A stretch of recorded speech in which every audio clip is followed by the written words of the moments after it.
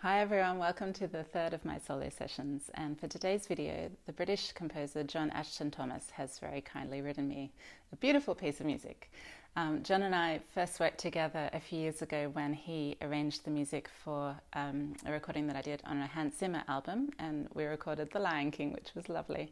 And we've worked on um, uh, a piece of music very recently for saxophone and choir, which was gorgeous.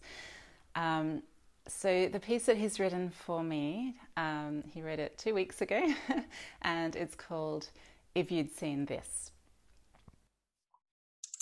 Hello, John. Hi, Amy. Hi. How are you doing? I'm good. I'm I'm doing I'm doing fine. Yeah, as as we're as we all are, we're dealing with this change of circumstances. Yeah. Yes, indeed, slight change. and you're you usually live in London, but where are you at the moment? I'm down. I'm in Devon. Um, we've got we've got this house down here where we all lived. Um, me and my family for several years while the kids were growing up, and we we still got it. And so, just before the lockdown, it was going to be my kids' birthdays are both on the 24th of March, even though they're not twins. Mm. And my birthday was on the 28th. The Mother's Day was a few days before that. We just thought, well, we'll, we'll come down here and do all that and, and that was it. We never, we never you, went. None of us ever went back to London. Yeah. Yeah. Oh, lucky you. I think I might come and join you if I'm allowed. and and just before, um, well, first of all, we, we worked together in February, um, and you wrote a beautiful piece, um, a lullaby for soprano saxophone and choir. And then um, after that, just before the lockdown started, you were supposed to be going on to to America. Is that right? Yeah, yeah, I was. I was going to be. I occasionally um, go on tour conducting with Michael Bublé, and um, we were going to be doing three and a half weeks from sort of late, yeah, late mid March, mid March to early April, and um, it got cancelled about three or four days before we were going to leave, which was really a huge relief because um, even though nothing had really kicked off, I don't think you needed much of an imagination to imagine what what the outcome of the whole thing might be. And when I say it was a relief, it was a relief because you know I didn't want to be um, stuck away from home with possibly no means of getting back mm. during a period like this. So um, yeah, I was going to be doing that, and then like all other musicians, I as soon as that tour got cancelled, I phoned up some. I'd been booked to do a load of studio sessions, which um came during that period, and I said I can't do them. As soon as that tour got cancelled, I was on the phone. I said, "Oh, I can do them now," and they all came back, and then they all got cancelled. and um, of course, there's no studio. There's nothing going on. I do a lot of work in um, film orchestrating and that kind of thing, and yeah, that's all. That's all on hold at the moment. But um, we we shall see how it how it all comes out. I, I am working on a, an album at the moment, which I think we're going to try to record with everybody at home. But you know, wow. whether or not that will work, but it's not for a huge number of people, so we shall see. Oh, good luck! and how has the lockdown affected the way that you work?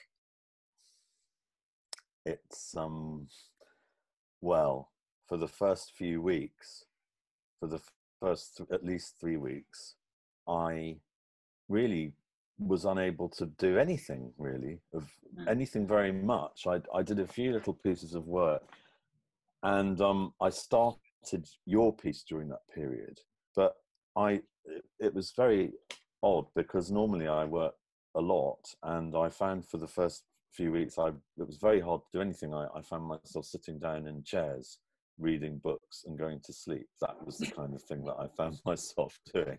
And um, but gradually it's um it's sort of come back and now i'd say i'm sort of more or less back to normal in terms of of working and the amount of work i'm doing and the, and the the quality. But actually when when we were in touch about doing this project that was a, a real godsend for me because i need i think i needed something just you know where i was going to just create something and um not do it for you know for anything com- for any commercial reasons, but also knowing that you know, well, hoping that you would like it, assuming and that you would record it you know and it would be out there quite quickly. So that was a really good motivation to do the um, piece. And also i mean it's it's interesting because i watched the video that you did with chris walden and he was talking about writing for a single line instrument. Yeah. And you know in a way because the logistics the practical aspect of that is is is very minimal. I mean, when you're only writing one line, you know, you want to write three minutes of music, you have to think about the orchestration, blah blah blah.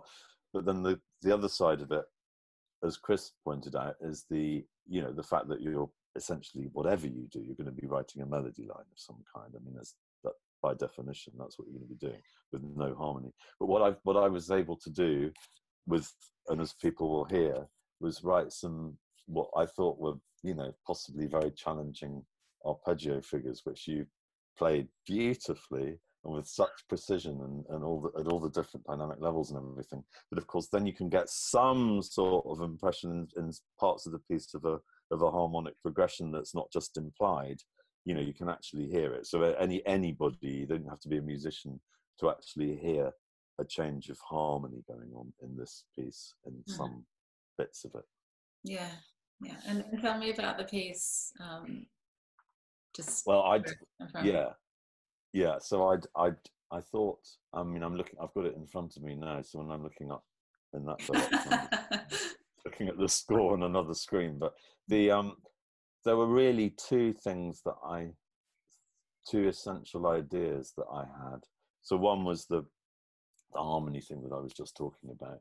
And then the other thing was to sometimes, not really, but just give the vague impression that there are two players um, answering each other. So there'll be a phrase that's quite in a higher register and then another one answering in a, in the lower register. So just to get this vague idea that you've got two people playing. So those were the two ideas that I had, and I and um and I you know just constructed the piece on that um, mm. basis, and then and then afterwards I so I was just thinking of you, you, you know, and the soprano saxophone, as I was doing it.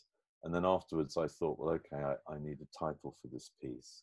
And so it's called If You'd Seen This. And I was thinking of my two closest female relatives who've passed on my mum, who, who died 10 years ago, and my sister died just under two years ago. And I was imagining what they would have thought of the situation that we're in at the moment in various different ways. In some ways, you know, how absurd it is, and in some ways, how frightening um, and you know uh, how it might have affected them, etc., etc. So I, I was thinking of of what they would have thought about the situation in various different ways. You know, some you know quite severe, and others you know much much lighter. You know, why can't I get hold of X, Y, or Z in the shop or whatever it is? You know, on one level, and much mm. more um, frightening things on another level. Yeah. Oh, that's beautiful. Well, it's a gorgeous piece. Thank you very much for writing it for me. Well, you're welcome. And I mean, the play you you've sent me a recording of you playing it the other day, and it sounded really, really nice. It's just such a lovely performance, and there there was, you know, I, it just you, your playing brought so much more to it, as I think I said in in an email the other day, um, than than the sound in my head does that if that makes sense. Yeah. of course that's the whole point but it sound it sounded absolutely lovely um the way that you played it in that recording. Well it's a real dream to work with you so thank you john. Great. Thanks amy. Thank you. Bye. thanks